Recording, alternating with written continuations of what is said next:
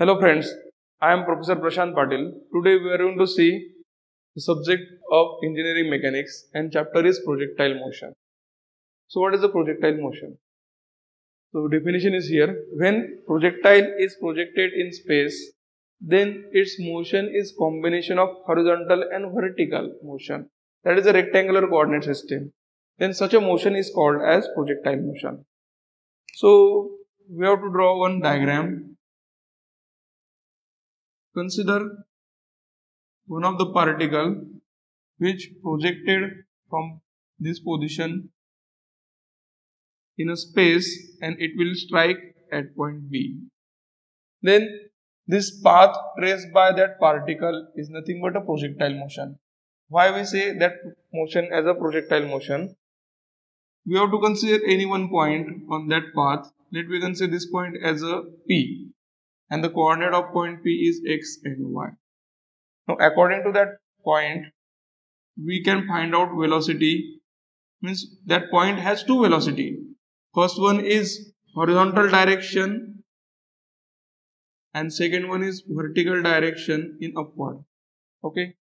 Let me consider one of the point is here q. Now here again we have two velocity. One is vertical direction and horizontal direction and another is is in downward vertical direction.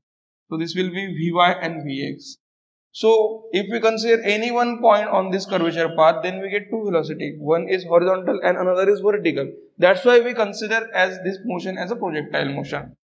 So uh, that terminology is very important. So let me consider initial velocity of that projectile as a particle as a u. Angle of inclination of that velocity with respect to horizontal. That is that tangential line is nothing but a velocity. So angle between these as alpha. Alpha is called as angle of projection. This is the initial velocity.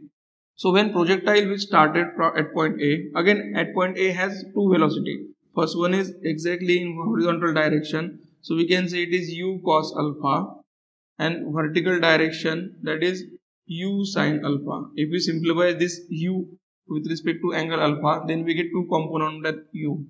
So ux is horizontal velocity and uy uh, use, uh, uy is vertical velocity. Okay? Also it has two angular uh, two acceleration right? ax is acceleration in horizontal direction and ay is acceleration in vertical direction. We assume here that air resistance curvature concept and gravitational concept Okay, so curvature concept and air resistance are neglected to solve the numerical on the basis of projectile motion. So here at every point horizontal velocity that is u cos alpha is always constant. So we can say ax means acceleration is horizontal direction is 0. So it is very important concept. Horizontal velocity is uniform. It means acceleration becomes 0 in horizontal direction and another is ay we can find out ay by motion due to gravity. We have three equations. So by using that three equation we can find out acceleration in vertical component. And acceleration in vertical component are always vary with respect to point. Because velocity is also vary due to gravity effect. So according to by using this concept we can solve numerical on the base of projectile motion. So before going to start uh, numerical concept, we have to study about some important terms. So important terms are here. First one is time of flight. So what is the meaning of time of flight?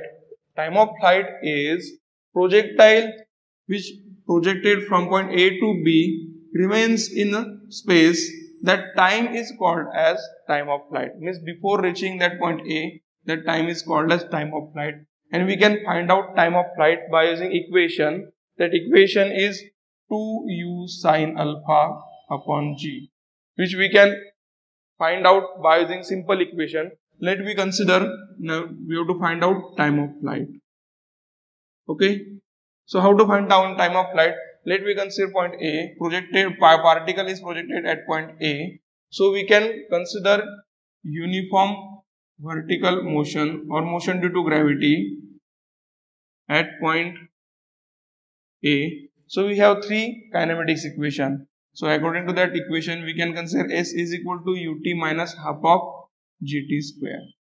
Now at point A, S means displacement is 0, U vertical direction U is nothing but a U sine alpha into T minus 1 half gt square. Now simplify this equation then we get 1 by 2 gt square is equal to U sine alpha into T. 1 T get cancel so we get the value of time of flight T is equal to 2 U sine alpha upon G.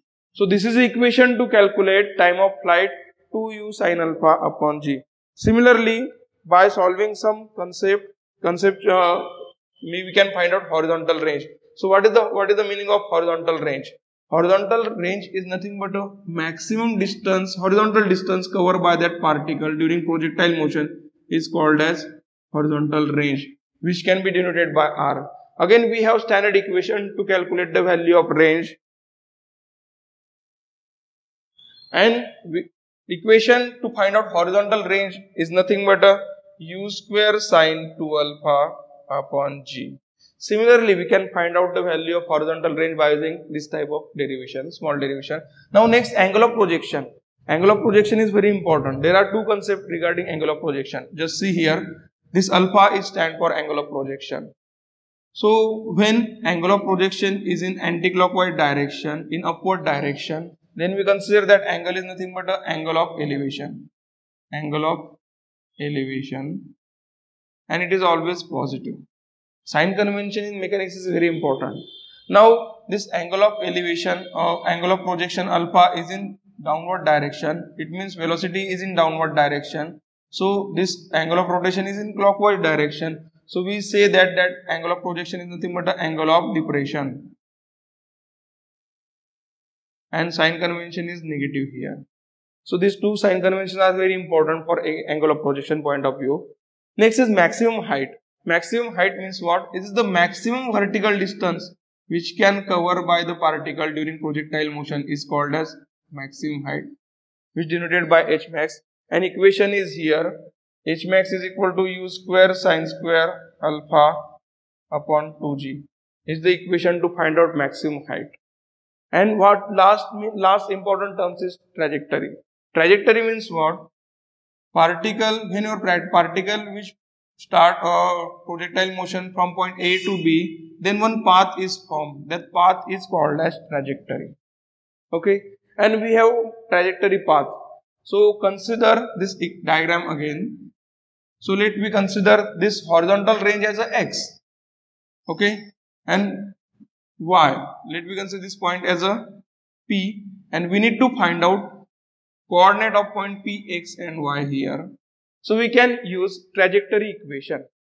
Trajectory equation is y is equal to x tan alpha minus gx square upon 2u square cos square alpha.